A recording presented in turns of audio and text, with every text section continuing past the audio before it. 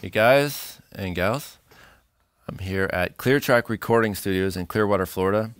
I'm John Zwolski from the Players School of Music. This video is going to demonstrate the six uh, six ways out of the 15 um, ways you can break up a quarter note against clave, rumba clave, from Cuba.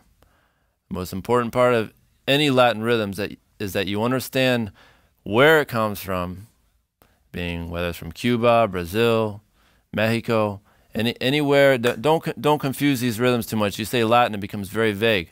So you want to you want to really get inside this um, and understand where it's coming from. This one is rumba clave. These rumba clave will also go with um, a bunch of different Cuban rhythms. So here's here's six of the 15 partials, and these are groups of two. One, two, one, two, three, four.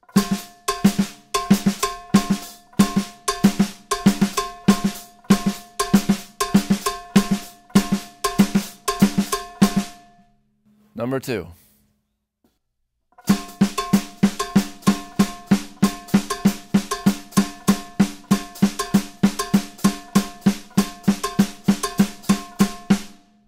Number three.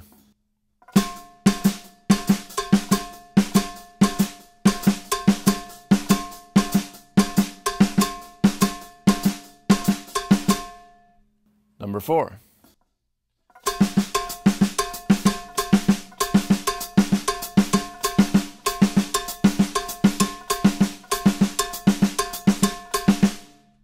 Number five.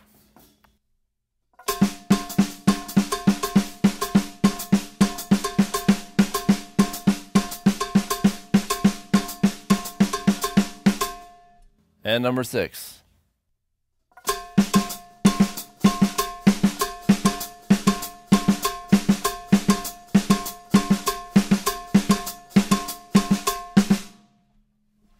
So after really going through some of these, you're going to understand a little bit how these rhythms work against clave, and hopefully it's going to open up um, some improvisational ideas for you.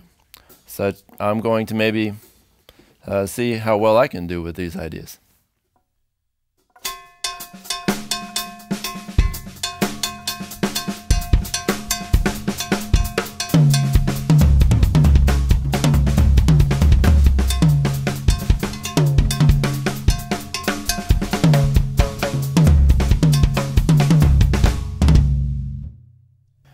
So basically, I just got those ideas from really understanding how these rhythms work against clave.